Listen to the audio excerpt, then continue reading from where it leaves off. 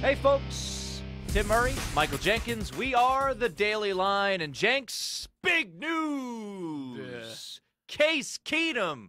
Woo! Super Bowl for the Redskins. Super Bowl. So, the news, let's uh, break it down for everybody.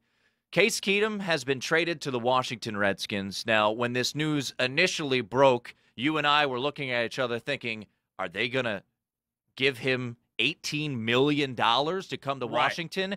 Now, when you look at the specifics, the Redskins gave up a 2020 sixth round pick, received a 2020 seventh round pick from the Denver Broncos. Mm-hmm. They are splitting the cost on Case Keenum, so he comes to Washington for $3.5 million. And if you are wondering, the odds out of the Westgate Superbook have certainly not changed. At all. Redskins are still 100 to 1 to win the Super Bowl, just like when Joe Flacco was traded to Denver. Those odds did not change. Here's the needle not moving, just staying nice and quiet. Now, eh, yeah, you and I, I think, eh, are in agreement. Yes. This move on paper is not a bad move. It's not. It, it's not that much money. The Redskins do need a backup, although we're hearing that Case Keenum will compete with Colt, Colt McCoy, McCoy. which is a problem in and of itself. If Case Keenum beats out Colt, I mean, Talk I about a riveting positional out. Yeah. battle. So the Redskins do need a backup. This is not a high price to pay. The biggest issue, I think, is when you're talking about the Redskins and fans in general, and, and we grew up in D.C. or in this area enough that this is a Redskins move, right?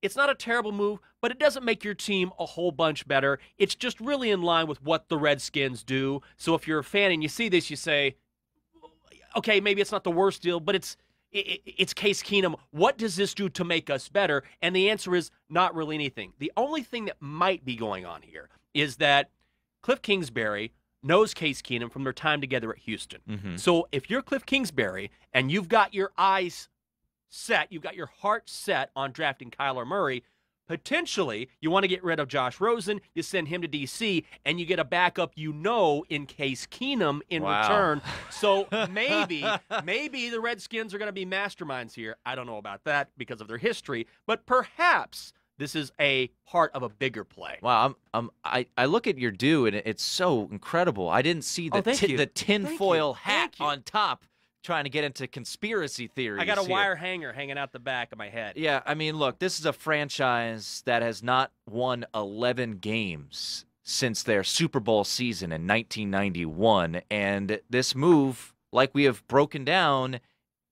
makes sense, but there's no excitement. There's no moving of the needle. But the problem is when you've got a team president in Bruce Allen, you've got a head coach in Jay Gruden who are on the hot seat, they can't afford to blow things up and tear it down to the studs. They have to try to keep pedaling around in mediocrity and then maybe eke out an eight or nine win season. So, whip de doo, the Redskins, they have traded for Case Keenum, and Vegas says, guess what, people? It hasn't changed a thing. Hi, I'm Mike Tirico, and thanks for watching. Make sure to hit subscribe for the latest news and highlights from NBC Sports.